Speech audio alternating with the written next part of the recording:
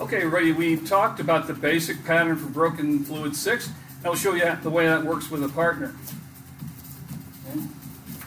So again, we'll break it down. We're going to do a number one, then number two.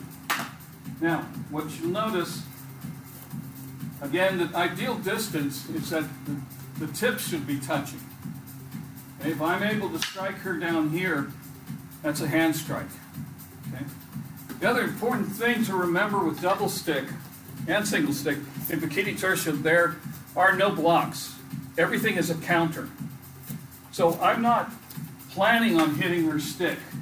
That's not my goal, except in this drill. What I'm hoping to do is as she swings, I'm going to be hitting her hand. Okay, or in this case, I'm going to fake, again, and strike here. Or it could be up here. So this is the feint, she comes forward, and I go with my second strike. Okay?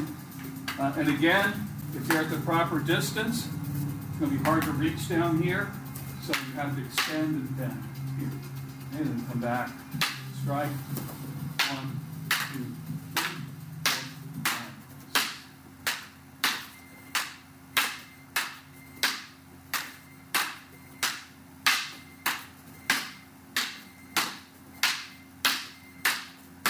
Okay? All right. Let's go ahead and have everybody else do that. Give you a, an idea of what it looks like.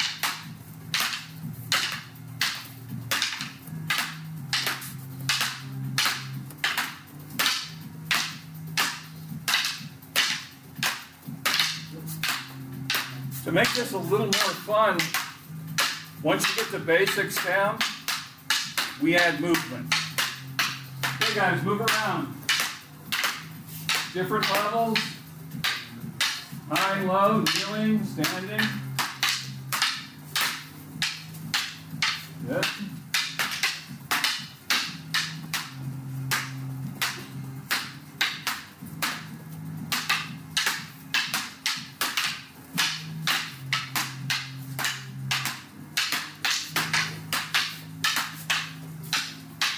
Okay, good.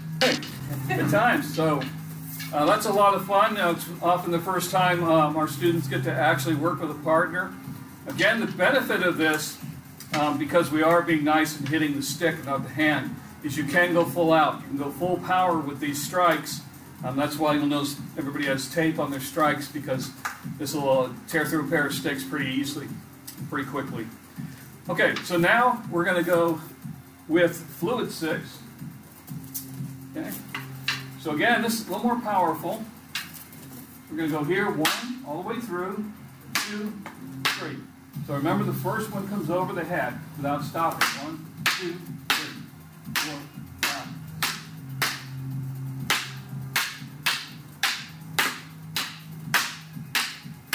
Okay, good.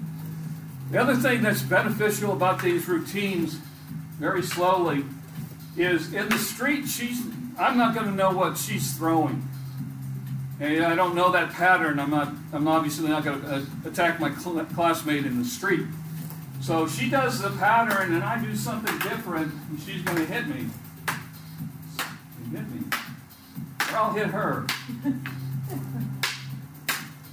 Okay, so if somebody screws up, I'm going to get hit. Okay. So the benefit of all the patterns that we do is to lock them into your muscle memory so they become instinctive. You can use them full power. And then just like a boxer, when you have to use them, you don't think about it. You just throw techniques. And somehow they're going to land on the ground and you're going to go, wow, I hit them. All right, so let's get partners again. We'll try this without movement. Yeah, you got to stay in there. So go ahead and begin. Fluid six.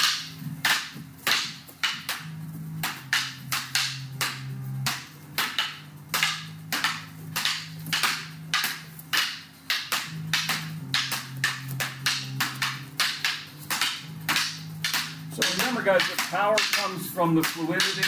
It's not about striking as hard as you can, but being fluid, and that's what's going to give you your power. Okay, let's use movement on this. Good, good job. Back position. Okay, So now today we've covered uh, the second movement of the double stick part of Pekiti-Tirsia, known as broken six, and it can also be done fluid, called fluid six. Um, it's a great pattern, a little difficult in the beginning, um, but it's very deceptive, uh, very powerful, and again, uh, later on you can switch it up so that you can go with a broken strike to begin with and then fluid and fluid, however you want to do it. There's a lot of variety here. Anyway, well, thank you for joining us. If you enjoyed this, please uh, like and subscribe.